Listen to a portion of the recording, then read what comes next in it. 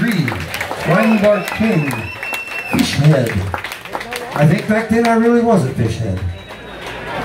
So I've changed.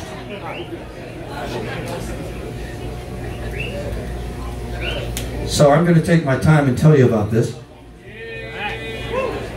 What we like to do in our show, we like to play a nice, gentle set like this.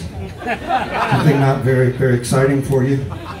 Boring, man. It's very boring. I don't know on the edge of boring, but and then we'd like to go away for 15 or 20 minutes and come back and rock your asses out. Now, what happens in the meantime is up to you. There is a bar over there. However, I suggest that you go peruse all the items over there. Brand new music, t-shirts, everything. It's right there. It's heaven. And if you buy it, you own it. Yeah. It's not something that's on your phone. You have it in your hand. You can look at the paintings. You can bring it to me and I will sign on those paintings.